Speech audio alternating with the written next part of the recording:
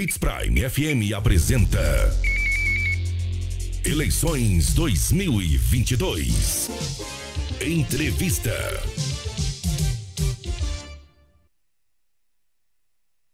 Saiba agora as regras da entrevista para as eleições de 2022 na Hits Prime FM. Todas as entrevistas feitas com os candidatos às eleições de 2022 irá girar em torno das propostas apresentadas pelo mesmo. As entrevistas terão um padrão com 20 minutos de duração, mas 2 minutos de considerações finais feitos pelo candidato. É recomendado que os candidatos evitem mencionar os nomes de seus concorrentes ou até mesmo de outros políticos, se concentrando em seu tempo nas propostas propostas locais.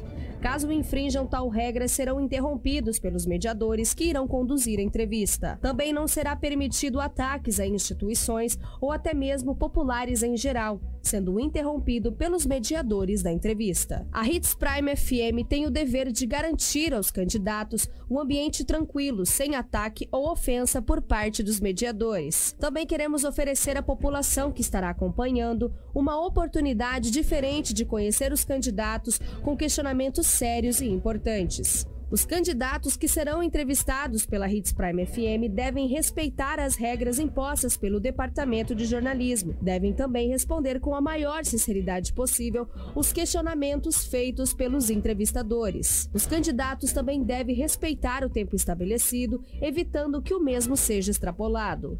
Na capital do Nortão, 7 horas, 1 minuto, 7 e 1. Nós já estamos aqui com o candidato Guerreiro Azul nos estúdios da nossa Hits Prime FM para que a gente possa começar a nossa rodada de entrevistas. Primeiramente, candidato, sem valer o seu tempo, eu quero pedir o seu bom dia e obrigado pela presença aqui nos estúdios. Bom dia, candidato. Bom dia a todos e muito obrigado pelo convite. Ô, Karina, eu gostaria que você colocasse o tempo de 20 minutos do candidato, por gentileza, na tela, para que a gente possa começar a nossa rodada de entrevistas. Candidato, eu gostaria que o senhor se apresentasse para a sociedade sinapense. Quem é o candidato Guerreiro Azul? O candidato Guerreiro Azul é um cidadão muito trabalhador que luta junto com a, com a população aí, trabalhadeira. E estamos aí na luta, a gente se candidatou a deputado estadual para ver se nós conseguimos mudar o rumo da nossa política do estado. Então, o candidato, aproveitando até o que o senhor falou, a questão de, de mudar o rumo da política do Estado, o que, que o senhor tem em mente, caso seja eleito no dia 2 de outubro e assuma a, uma cadeira na, na, na Assembleia Legislativa do Estado do Mato Grosso? Qual o principal projeto que o candidato tem? A gente tem uns três a quatro projetos para colocar lá na, na, na, na no estado para melhorar a vida do, do trabalhador em todo o Mato Grosso. Temos o projeto da saúde e da infraestrutura e da educação.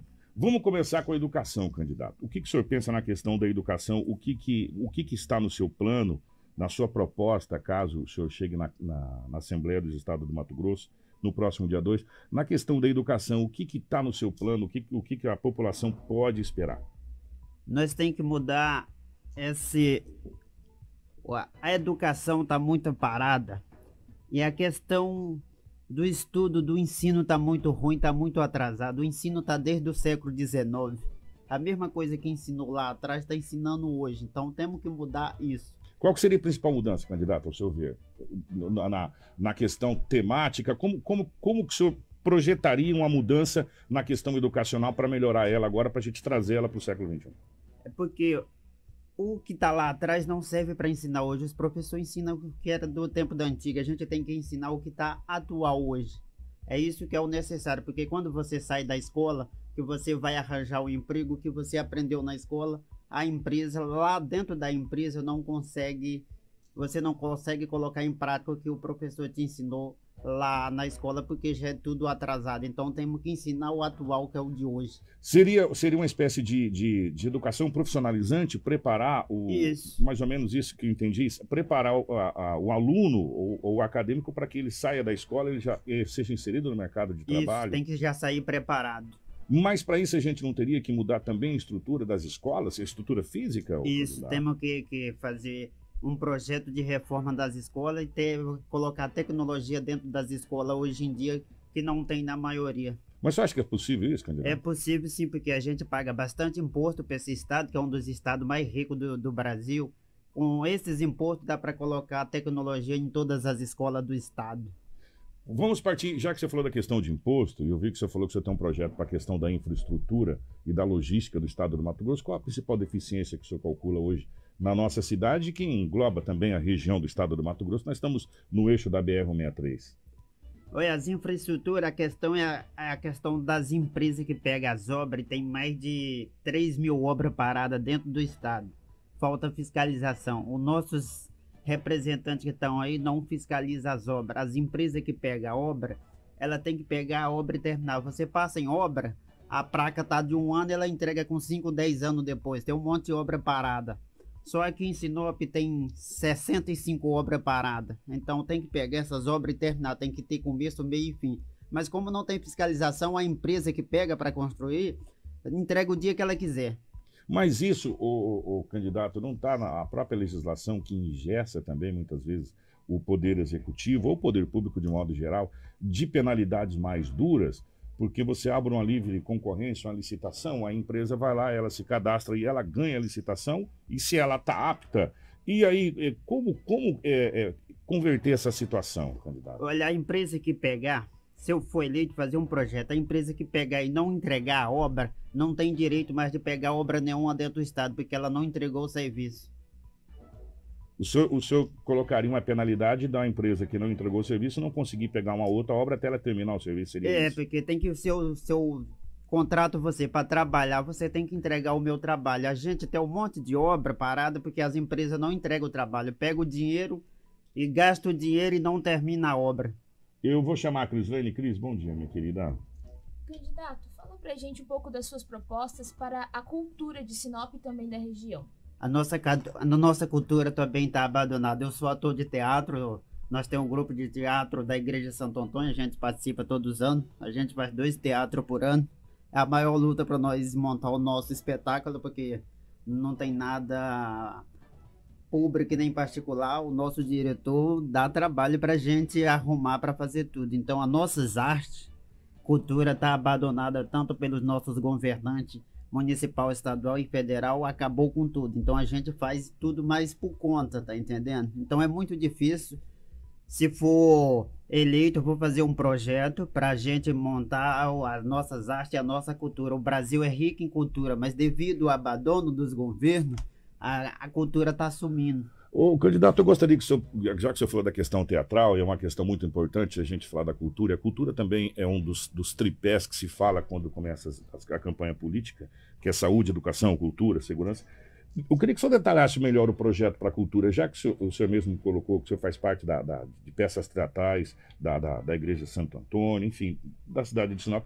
Bom, queria que o senhor detalhasse melhor o que, que o senhor pensa na questão cultural, pra, não só para Sinop, mas para a nossa região, que é uma região riquíssima em termos de cultura tem que acabar com a burocracia para poder você ter o acesso a recursos. É muito burocracia para você ter acesso a um pequeno recurso que vem para a cultura e para a arte dentro do nosso estado e dentro do nosso país. É muita burocracia. Tem que acabar com um pouco dessa burocracia que é para o pequeno artista ter acesso, não só os grandes. Os grandes já estão ricos, já estão milionários, eles têm mais acesso, mas o pequeno que está começando não tem essa é uma das dificuldades que a gente encontra para fazer qualquer peça de teatro ou de qualquer outro artista que vai fazer, porque a, a burocracia é muito grande. Tem que, nós temos que acabar a nossa burocracia do país. Essa... Isso é que atrasa o país, como na área da arte, como na da educação, como na todos na saúde. A burocracia é muito grande dentro do nosso estado e do país e do município. Mas essa é uma reclamação, acho que generalizada, né, candidato? Se você pegar os grandes também, se a gente pegar recentemente várias peças teatrais que, que foram montadas no país, com grandes atores, inclusive, atores de renome internacional. A grande reclamação é que se não tiver dinheiro da, da área privada, a área pública tem pouco recurso. Eu gostaria, a nível de Mato Grosso, como, como o senhor vai representar a nossa cidade a nível de Mato Grosso, se, se, se, se por aqui, a nível de Mato Grosso, existe no seu projeto uma maneira de, de conseguir trazer verba privada para esse setor, com, com incentivos, inclusive em um projeto de lei, com o apoio do, do dos mais deputados, para que o Mato Grosso possa incentivar a nossa cultura, que é riquíssima. Você vai pegar a cultura cuiabana, a viola de coxa, entre outras coisas mais. E a nossa cultura aqui, nós temos a, a cultura nordestina, temos a cultura gaúcha, enfim, inserir. Existe no seu projeto uma maneira para que o Estado possa ajudar a subsidiar as peças teatrais e as, os movimentos culturais aqui da nossa região, candidato? Olha, no momento a gente não tem ainda esse projeto, mas a gente vai buscar para melhorar para todos os pequenos atores e artistas do nosso estado e cultura para ter uma cultura mais forte em todo o Mato Grosso. O candidato, vamos mudar de tema, vamos, vamos passar para uma outra situação, economicamente dizendo. O senhor sabe muito bem que nós estamos na cidade que é a quarta economia do estado do Mato Grosso, onde nós temos hoje uma população estimada segundo que a gente faz o levantamento aqui, chega na casa de quase 200 mil habitantes. Nessa questão de logística, para a infraestrutura do nosso comércio, que é quem realmente banca, na grande realidade, grande parte de todas essas, essas questões artísticas, realmente, o que, que tem no seu, no seu programa de governo para fortalecer ainda mais a nossa questão de indústria e do nosso comércio aqui da região? Nós precisamos a, du, a, a duplicar a BR para ficar melhor para fazer o nosso transporte mais rápido. Estão aí com um projeto da ferrovia até aqui em Luca do Rio Verde para transportar o grão. Mas a BR precisa duplicar, que não tem duplicação, para ter melhor logística para o estado e toda a região do norte. O candidato, o senhor, o senhor andou na região?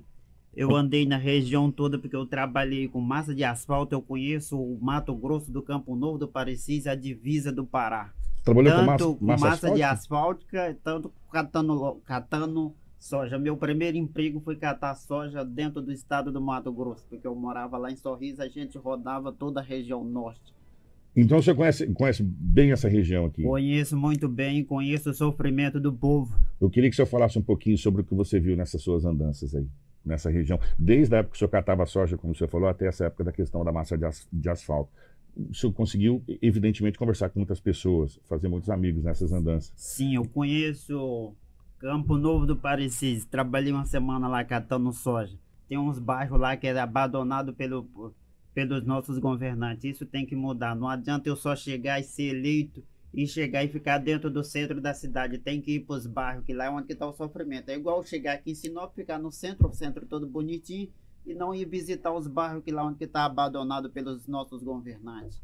O, o candidato, vindo para a nossa região aqui, o senhor falou da questão da soja, é, a nossa agricultura é muito forte. Né? A nossa agricultura hoje aqui, ela talvez seja um, um dos grandes pilares de sustentação é, de todo o Brasil, não vou falar só do Mato Grosso, de todo o Brasil. É, como ajudar o agro? O senhor tem alguma ideia de como poder fazer, caso sendo eleito no dia 2, de como ajudar o agronegócio, de como ajudar não só. Quando eu falo agro, candidato, eu não quero falar só do grande, tá? Só daquele produtor gigantesco de soja. Eu falo do pequeno também, aquele que tem um galinheiro, que tem, que tem a galinha, que tem que faz o seu salame que vende na feira, que faz a sua cuca. O pequeno produtor, tem alguma coisa inserida nessa situação, já que você conhece também esse, esse setor?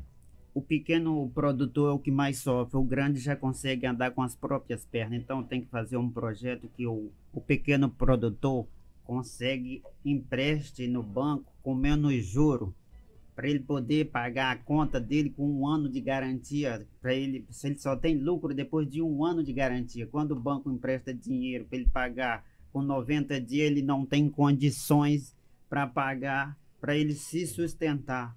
E tem a nossa população tem que comprar dos pequenos produtores para que é para ele crescer também junto que o, que o pequeno produtor é que sustenta a cidade, porque os grandes impostam todinho para fora. Ô, Cris. Candidato, e na saúde? Como o senhor analisa a saúde do nosso estado hoje e como você vê que pode melhorar essa situação? A saúde tá feia, eu sei, eu sinto na pele. Eu tenho cirurgia para marcar no olho desde 2014 e o governo me abandonou desde 2014. Então só quem tem, só quem tá na fila da espera, quem tá é o que sente na pele. Aqui em Sinop tem mais de 7 mil pessoas. Na total tem 7.500 esperando por uma cirurgia.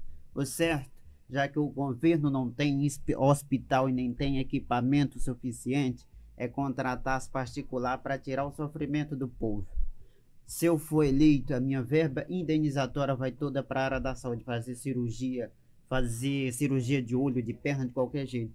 de qualquer tipo de cirurgia. Eu conheço mais de, cento, mais de 50 pessoas aqui em Sinop que estão tá sofrendo, esperando por uma cirurgia desde 2015, 16, 17. E o governo, os nossos governantes abandonou esse povo, não consegue fazer, não consegue nem um fisioterapeuta. Um dia eu adoeci e a semana retrasada eu fui pro meu postinho, só porque eu tava com gripe, eles não me atenderam, tinha que ir lá pra UPA. A gente chega na UPA às 7 horas da manhã, sai uma hora da madrugada, porque é lotado.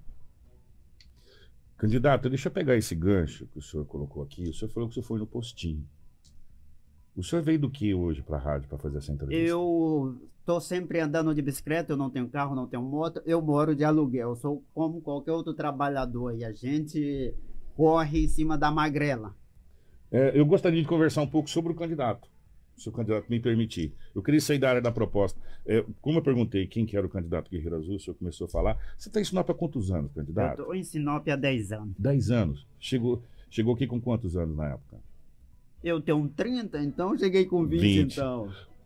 Vendo Sinop hoje, nós estamos vivendo um momento muito especial da nossa história. Hoje é dia 2 de setembro, nós estamos come começando para valer o seu esteja aniversário da cidade de Sinop, dia 14. Sinop completará 50 anos de idade. Já que o senhor falou da cultura, o senhor tem algum projeto para que a gente possa é, ajudar a construção real de um museu em Sinop? Porque com apenas 50 anos de história, a nossa história está se fragmentando, ela está começando a se perder no tempo com pessoas importantíssimas para a nossa história sendo esquecidas. Existe na, na, no seu plano alguma coisa que o senhor pensa na questão de cultura, não só para Sinop, já estendendo para outras cidades, para Sorriso, para Lucas, enfim, para essas cidades, para apoiar essa questão de ajudar os, os municípios a questão de, de, manter e resguardar a sua história? Já era faz tempo para a gente ter um museu aqui. Sempre a gente anda pela rua, eu trabalhava na rua, chegou alguém de São Paulo procurando pelo museu. Digo, rapaz, eu moro aqui tantos anos, mas eu não conheço nenhum museu aqui em Sinop. Então já era para ter um museu já faz tempo. Então temos que fazer um museu para deixar a história viva ali dentro do museu de Sinop, que Sinop tem bastante história. O candidato, já que você falou que o senhor bate de magrela, de bike, e a gente também bateu de bike durante muitos anos aqui na cidade de Sinop, você conhece bem os bairros, né? Conheço. Você vem de que bairro?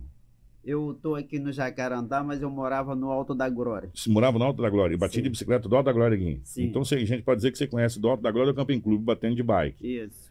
Qual a principal deficiência que você vê andando nos bairros da cidade? Vamos falar agora da nossa cidade. Isso. Qual a principal deficiência que você vê, que você conversa com a população, ou que você está sentindo no dia a dia, que você está conversando com, com os eleitores na rua? O que, que os eleitores mais reclamam? Para quem anda de ciclismo, falta ciclovia. Só tem 12 quilômetros de ciclovia dentro da cidade. Tinha que ter uma ciclovia do Alto da Grora ao Camping Clube, do lado que pertence ao município. Assim, se quem pertence ao governo, que é a 163, do lado aqui. Você fala do lado da paralela ali. Isso, tem que fazer uma ciclovia nesse sentido, que é pra gente correr melhor, porque os carros e moto andam muito correndo do nosso lado, falta derrubar a gente. O trânsito é muito complicado aqui em Sinop. E o trânsito anda... de Sinop é muito perigoso, eu sei como é que é. Eu trabalhei com entrega, eu tive que sair da entrega porque um, motorista de carro quase me mata, cortou na minha frente ali, andou perto de eu bater de moto nele quando eu fazia entrega pela empresa. Aí eu saí da entrega e fui para a indústria, que é assim evita menos risco fazendo entrega dentro da indústria, tem menos risco de acidente. Além da, além da questão da ciclovia, que a gente tem, que a gente está vendo a necessidade da ciclovia, conversando com as pessoas, com, os eleitores, o candidato, assim, o que, que os eleitores falam para você assim? É, olha, se você for eleito, eu gostaria que você olhasse por isso, porque a gente sofre, o nosso sofrimento é isso. Qual é o maior sofrimento da, da, da população que, que é saúde, é, é saúde. saúde. Quem está precisando de uma cirurgia é saúde. Eu mesmo eu não sou, não trabalho na área da saúde, mas como eu tenho um curso de brigadista e curso de vigilante, eu faço fiz massagem gratuita para uma mulher lá no Alto da Glória que ela tem precisa de fisioterapeuta e não consegue pela rede estado, rede municipal que o município não fornece. Tinha que ter um fisioterapeuta em cada postinho e tinha que mudar a situação, não trocar de médico nos postinhos, porque tem médico bom, mas tem quando você troca o bom, vai um ruim lá que não consegue dar de conta e nem atender bem a população. Tem que atender bem a população porque a gente paga imposto muito caro e falta, tem vezes que falta médico dentro do postinho. Já aconteceu cinco vezes no meu porto do Jacarandá, eu ir lá e a mulher que atende ali na frente dizia, não tem médico, se a gente chegar com gripe, não atendemos, tem que ir para a UPA. E a UPA, vocês sabem, é lotada 24 horas. Que é a salvação da lavoura, diga-se de passagem. Né, É, que é a salvação É. nossa aqui, quem não tem dinheiro para ir O- pro, pro, pro particular. O candidato, mas deixa eu pegar uma, uma retórica nessa situação, até para a gente poder falar. É, às vezes, a gente, a gente acha que a saúde é quando a gente fica doente e vai procurar um médico. É, só que na realidade é falta de saúde, você já está doente. Isso. A saúde, é, na realidade, é quando você não, não fica doente, quando você, você está com saúde. Quando você vai no médico, você está com falta de saúde, que você É. está precisando ser tratado. Mas para que você tenha saúde, você tem que ter o quê? Você tem que ter mais infraestrutura. Por incrível que pareça, uma coisa soma na outra, que é a questão do asfalto, a questão do Sim. esgoto, a questão da água tratada, a questão das prevenções. É, consta isso também nessa questão de dessa, dessa questão da saúde, mas não do atendimento básico, mas da parte por trás da logística para água tratada, para esgoto, para saneamento, para prevenção, para campanhas, para que as pessoas. Nós estamos agora no Setembro Amarelo, me corrija? Setembro Amarelo, que é de prevenção ao suicídio. Aí nós vamos ter o Outubro Rosa, o Novembro Azul, que é de prevenção ao homem. Essa, essa situação também consta, candidato? Seu- sim, seu- no seu- consta sim. Aí pre- pre- realmente a gente precisa dessas infraestruturas tudo arrumada. Mas só que isso demora muito por causa que falta fiscalização das pessoas que estão no poder para fiscalizar, para adiantar esse serviço. Antes da gente ir para as considerações finais, nós temos 50 segundos, eu não poderia deixar de fazer essa pergunta. Por que, que o candidato incorporou o personagem Guerreiro Azul? E quem é o Guerreiro Azul? Para a gente poder entender. Azul, o Guerreiro Azul é uma história bem longa. A gente nasceu ali em Sorriso, Guerreiro Azul, tô com meu vivo sempre só. Aí tinha um vizinho que sempre chamava Guerreiro. Aí eu vim pra cá nas brincadeiras de grupo de acampamento das igrejas. Aham. A gente usava a bandeira azul, então eu coloquei o azul. Azul. Aí ficou Guerreiro Azul. A gente até fez uma marchinha. Guerreiro Azul voltou, Guerreiro Azul voltou. Na, na brincadeira que a gente fez dos acampamentos, a gente ganhou, né? Tem aquela parte do, do, do hino lá, não sei, não tô lembrado qual é o time, que o campeão voltou. Então eu peguei esse trechinho e coloquei na parte do Guerreiro Azul. Candidato, nós temos agora dois minutos para suas considerações finais, que a Karina vai colocar na tela, para que o candidato possa pedir o seu voto, possa é, fazer as suas considerações finais em dois minutos. Fique à vontade, o microfone é seu é, e utilize da melhor maneira possível. Obrigado primeiro o convite aqui da Rafa que me- convidou. A gente foi colega lá em alguns anos de faculdade. Eu sou o Guerreiro Azul, me apresento aí para candidato a deputado estadual. Eu sou gente como o povo mesmo, trabalhador e tudo. A gente acorda cedo, tem que pegar o busão. Então, tô aí, meu pessoal do Nortão, Mato Grosso, aqui é o Guerreiro Azul. Quem conhece o Let's Go Tank aí, o Bye Bye, o Hello People, sou eu que falo aí pelas rua e cidade de todo o Mato Grosso e estamos na torcida com fé em Deus e na população para ser eleita aí a candidata a deputado para nós mudar a nossa realidade do nosso estado e do nosso município. Então peço o voto de todos aí no dia 2 de outubro, vote 12437 Guerreiro Azul para um Mato Grosso melhor.